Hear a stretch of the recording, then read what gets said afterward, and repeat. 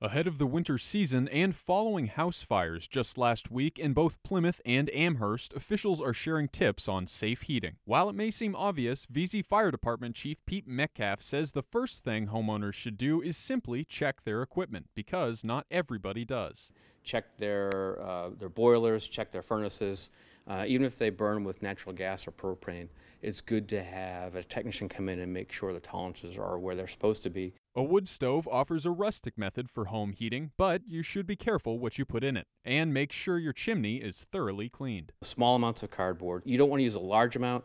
Uh, what can tend to happen is that cardboard or that paper will go up to the chimney, uh, may sit in that chimney, or and may cause a blockage. You clean your chimney. Don't burn um, food or other heavy trash. Anything that is not designed to burn in a wood stove um, or a fireplace could always lead to a catastrophic fire. Metcalf says preparation is one of the most important steps in preventing a house fire. We always recommend working smoke alarms, working carbon monoxide detectors in the homes.